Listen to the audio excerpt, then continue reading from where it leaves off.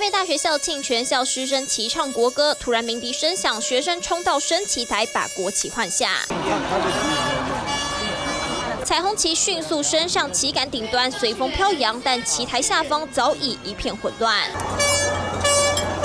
蓝色衣服的教官冲上前制止，和学生爆发肢体推挤，一阵拉扯中，两名学生受伤，其中一位较严重，出现反胃干呕状况，紧急送医。不过校方也有人员胸部受伤，送医没有大碍。我们希望在台北大学里面的学生呢，可以跟着我们，就算我们没有办法到凯道被绑在运动场，也可以在那边勇敢做自己。这个七十周年的校庆，校方事实上是用这个调整体育课上课的方式啊来做，而且呢，我们事前也跟同学有多方的沟通。校方措手不及，学生图起来的唤起活动，但学生强调已和校方沟通一年，刚好又碰上同志游行，却要到学校参加校庆点名，才会用行动表达诉求。我们还是以学校既有的这些相关规定，然后呢来了解各方面的这个说法以及那个事情的经过，